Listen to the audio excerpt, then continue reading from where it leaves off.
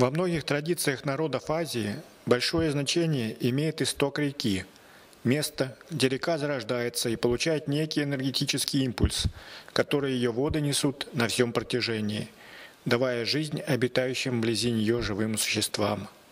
Поэтому не случайно такие места особо почитаются, описываются в древних текстах и к ним совершаются паломничества, которые считаются великим благом, и являются весьма важным элементом для внутренних трансформаций паломников. При определении географических истоков рек мы использовали определение истоков, данное академиком Поливановым, который считал, что истоком реки следует считать наиболее длинный путь, который может пройти до устья капля воды, выпавшего наиболее высокой части сформировавшегося русла самого длинного притока – при такой трактовке в паспорт реки добавляется важнейшая составляющая – максимальная высота русла самого длинного притока. По сути, этот параметр определяет максимальную потенциальную энергию речной системы. На наш взгляд, это более точное и логичное определение географических истоков рек, позволяющее однозначно определить их местоположение. Такой подход мы и попытались применить к истокам четырех великих рек Азии, начинающихся у Кайласа. К истокам Инды из города Якра в западном направлении идет очень колоритная высокогорная дорога с тремя перевалами 5279 метров, 5376 метров и 5516 метров. Последний перевал – один из самых высоких в Тибете. Даже несмотря на относительно теплую погоду, через перевал иногда приходится пробиваться из-за большого количества снега и льда.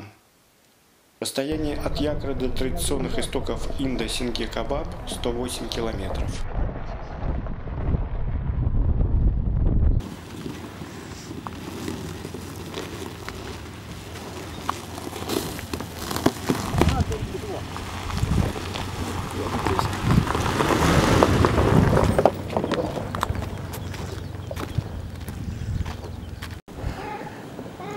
Чудо, горит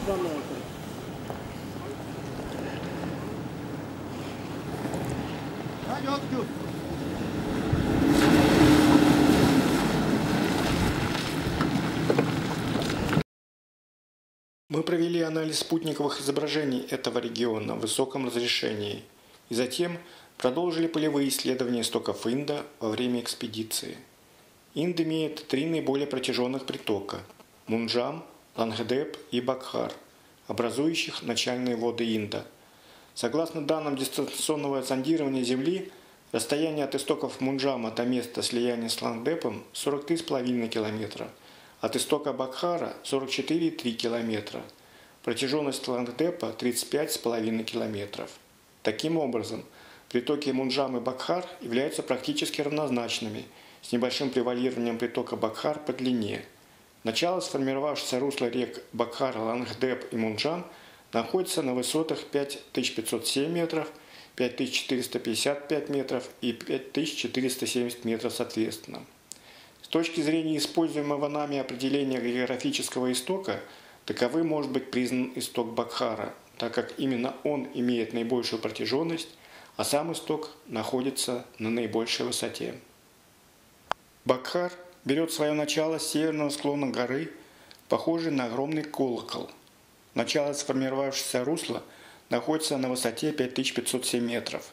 В этом месте паслось несколько диких яков – мы были в этом месте в относительно засушливый период, поэтому вода в русле присутствовала только несколько ниже, на высоте около 5464 метров.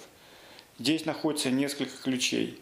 Мы совершили восхождение на эту кулакообразную гору, во время которого нас сопровождали три волка.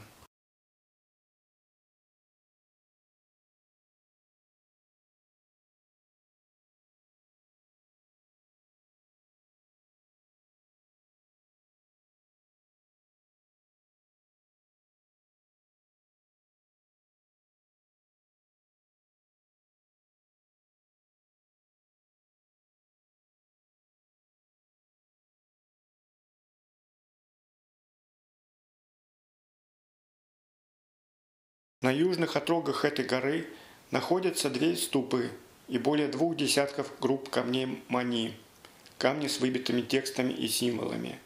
что несколько странно для такого безлюдного места. Кто и когда переместил в это место десятки тонн каменных скрижалей? Что за каменная книга здесь находится?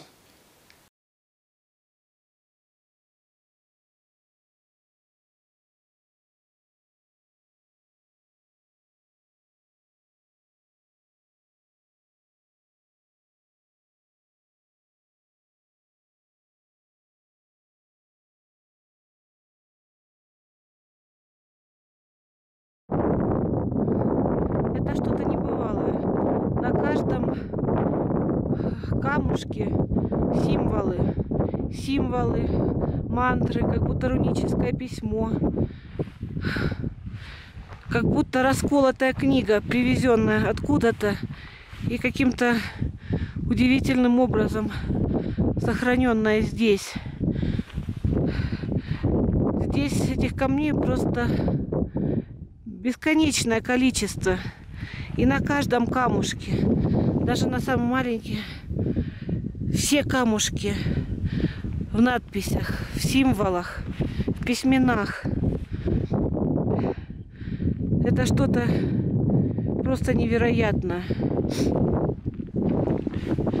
Может быть, действительно, это древняя книга, о которых еще в наших ведических традициях говорили, что пришел дасть Бог и сказал, чтобы записать все и сохранить до времен, когда это должно быть открыто.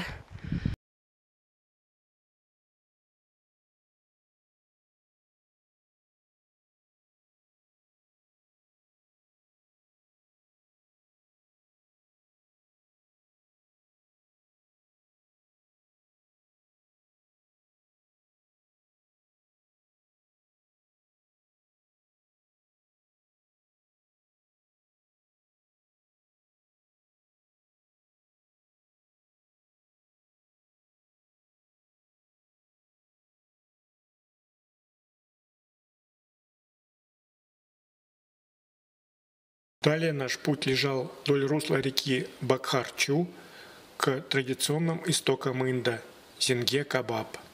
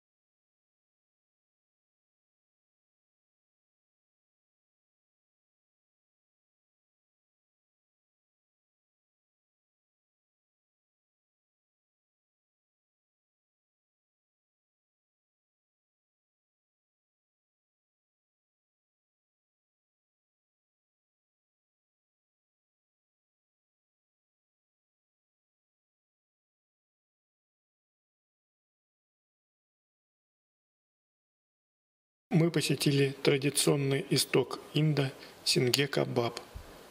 Рядом с выходом из лесниковых пород из-под земли бьют несколько ключей, вода из которых образует заросшие пруды и далее течет в Бакхарчу в виде небольшого ручья протяженностью около 800 метров.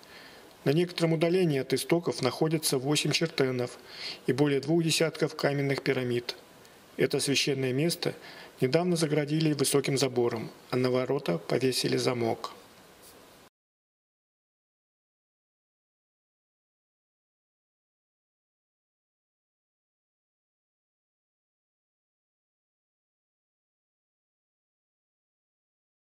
Таким образом, в ходе данной экспедиции были исследованы географические и традиционные истоки Инда, флора и фауна этой труднодоступной области, а также пополнены сведения об объектах сакральной географии региона горы Кайлас.